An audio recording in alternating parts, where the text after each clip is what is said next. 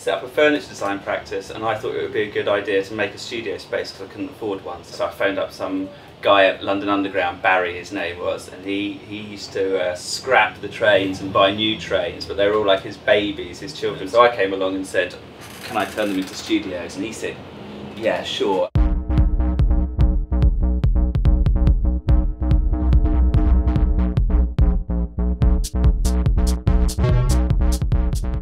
A garage, and they, they uh, mechanics had uh, allegedly done an insurance scam. So the whole thing was full of burnt out cars and trucks, and it had basically burnt most of the roof off.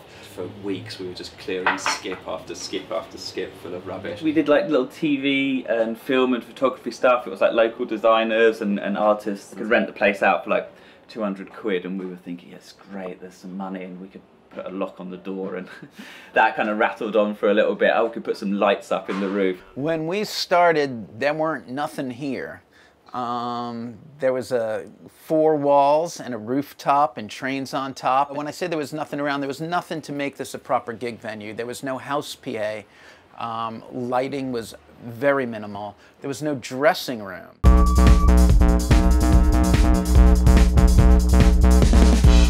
Auro had a vision that if you put a load of creative people together, you would end up with a beautiful utopia. Whereas actually, you ended up with something that was like a dystopia, a massive sort of mess, looked a bit post apocalyptic. Unfortunately, human nature meant that we all defaulted to the lowest, the lowest standards in everything. So we had to put a bit of structure in, and uh, I mean, it's basically it's not really structure. I like to think of it as enabling people. So it was like a whole like 12 hours of craning all of this up, and and at the end we were really pleased with ourselves, and we went home, and the next morning we came there, and it was just plastered in graffiti, like ninjas coming over the rooftop. I mean, we're like 10 meters off the ground or something. It's vertical brick walls. I mean, they're in impressive. After a while, they took this bridge out, which then left a big wall there. And um, Ben Eine phoned up. He said, "Do you mind if I paint your wall?" And We were like, "Yeah, okay." And um, we came back the next day, and it just had vandalism in huge, in huge letters. And uh, that was the beginning of that, and that's been going. That's been going ever since. There's like maybe eight years of, of painting on that wall. There's a few people writing books for a while.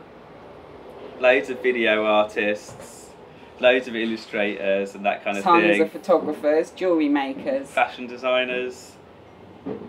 We won some BAFTAs. Our tenants won some BAFTAs. Some BAFTA winners. I always describe this as like a potting shed in the clouds, this space here. It's really, it's quite magical to have something that um, feels so kind of artistic and a little bit um, different for Shoreditch and it's probably what Shoreditch was many a year ago and I feel like we're the last bastion in existence. You can come here any day of the week and see anything from Inuit throat singers to hard techno to uh, opera from the Barbican and I think that's quite special and quite unique. The Four Tet event a few years ago was poss possibly one of my craziest. It was a daytime gig and I turned up here at 10 o'clock in the morning and everyone was completely blottoed on the roof. And then we went downstairs and watched uh, Kieran Hebden uh, play and as he was playing they took the roof uh, panels off so we had all this sunshine suddenly like being cast into the venue. Right on in the early days, um, we put on a little secret gig for the Pixies, and uh, that was the best for me. I mean, I'm of a certain age where the Pixies were my heroes, so having them playing in your own front room was kind of amazing. The Growlers show was pretty extreme. Um, Fat White Family.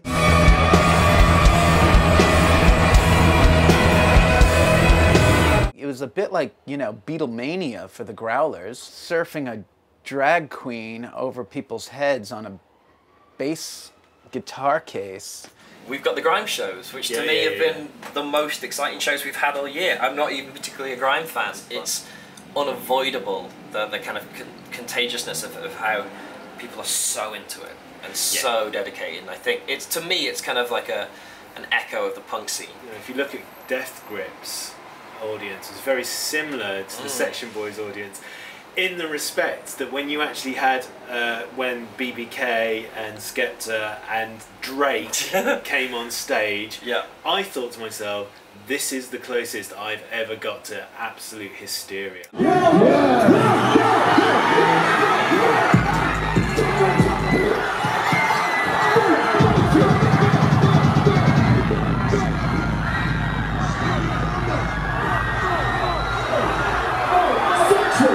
Underground ethos, I think, is uh, at the very core about freedom and creativity. That extends to everything the music program, reinvent the world, come up with a better way at, during changing times when there needs to be a better way. What I like about Village Underground is it may not be the it may not be the smartest idea, it may not be the brave, it may not be the kind of like the most logical idea, but if it excites them, they give it a go. To, to, come back and work for somewhere so vehemently independent is really refreshing. You know, in a, in a city and in an industry where it's constantly changing, it's cutthroat, people are treading over themselves to get the new, new acts. And you know, and people are taking huge handouts and huge slices of money from companies that have nothing to do with creativity, nothing to do with music, and nothing to do with cultural diversity. Working for Village Underground is is a breath of fresh air. We kind of ran up against the four walls because we can't fit any more shows in here, so we're looking for other venues. We had our site open in uh, Lisbon. The Berlin project is like our kind of uh, uh almost happening, almost happening. so maybe that one will come off. Um, and then it looks good that we're going to Barcelona. I think that's going to be great. Um, we just got a few more trains that we've put onto lorry trailers and we're doing a mobile village underground venue that we're going to tour around the country, go to all the festivals, take that abroad. Um, that's kind of exciting. And we're looking at new programming as well, getting much more of the performing arts, theatre stuff in that we used to do, um, much more of the kind of cerebral talks and debates and uh, trying to branch out um, artistically as well as in new venues. I talk quite a lot about inspiration and that being a really important thing for people individually but for society as a whole. So I just try and make sure we put on as much stuff that's inspiring as possible and if you know if one person comes to a show at Village Underground and goes home truly inspired then that's that's our work done.